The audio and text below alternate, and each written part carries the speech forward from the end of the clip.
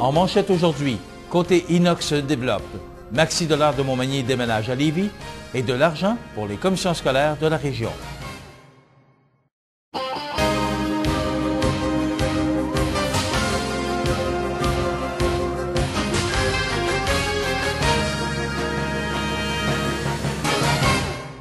Mesdames, Messieurs, bonjour et bienvenue aux actualités Informaffaires de ce jeudi 19 juin. L'entreprise Côté Inox de Saint-Lazare de Bellechasse a le vent d'un voile. L'entreprise a récemment réalisé d'importants travaux d'agrandissement en ajoutant 10 000 pieds carrés à son usine de transformation du métal. Côté Inox s'est aussi doté d'une nouvelle découpeuse au laser de 6 000 watts.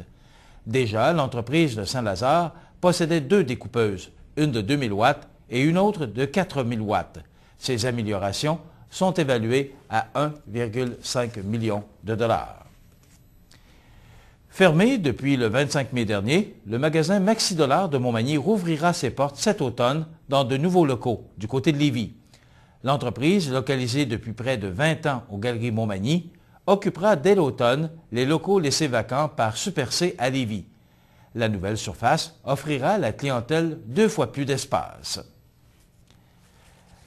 Les commissions scolaires de la région viennent de recevoir un important coup de pouce de Québec pour mettre en œuvre les nouveaux programmes de formation générale pour les adultes en sciences et technologies.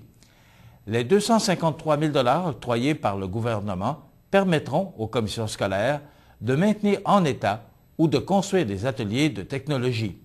La commission scolaire des navigateurs récolte la part du lion avec plus de 80 800 la commission scolaire de la Côte-du-Sud et celle des Appalaches recevront chacune plus de 50 400 Alors voilà ce qui termine nos actualités de ce jeudi 19 juin. Soyez des nôtres demain. Bonne journée.